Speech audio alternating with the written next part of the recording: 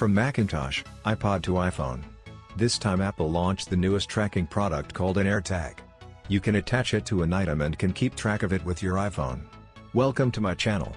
If you are new to my channel don't forget to subscribe, like, and smash the bell button.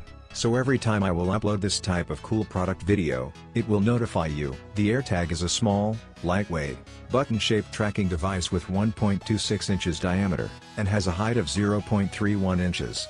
It weighs 11 grams with precision-etched polished stainless steel and is IP67 water and dust resistant. AirTag with free engraving, including text and a selection of 31 emoji, when purchasing from the Apple Store app.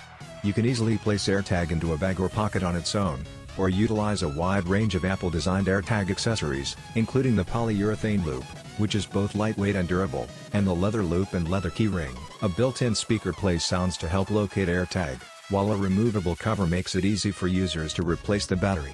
AirTag features the same magical setup experience as AirPods, just bring AirTag close to iPhone and it will connect. AirTags are added and managed in the Find My app under the Items tab that Apple introduced in iOS 14.3. Like other Apple devices, each AirTag is displayed on a map in the Find My app so you can see its location.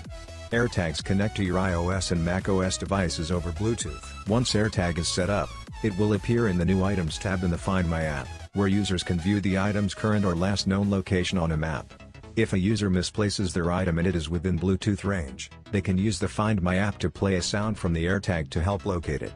Users can also ask Siri to find their item, and AirTag will play a sound if it is nearby. Apple added a U1 chip in each AirTag so you can see its precise location indoors or out if it's nearby, or its last known location if it is not. If you come across a lost AirTag, or if someone comes across your lost AirTag, it can be scanned with any smartphone that's equipped with NFC to bring up contact information.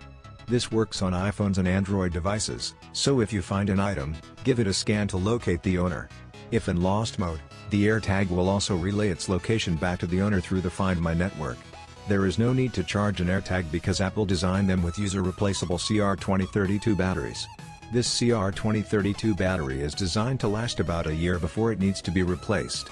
The batteries are user replaceable, and to swap out a battery, you can press and twist on the back panel of the AirTag to pop it off.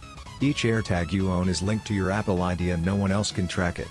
Location data and location history are not stored on the AirTag, and devices that relay the location of a lost AirTag stay anonymous, and location data is encrypted every step of the way. AirTag can be purchased in 1 and 4 packs for just £29 and £99, respectively, and will be available beginning Friday, April 30th. Thank you for watching. If you like the video don't forget to like, share and subscribe to the channel.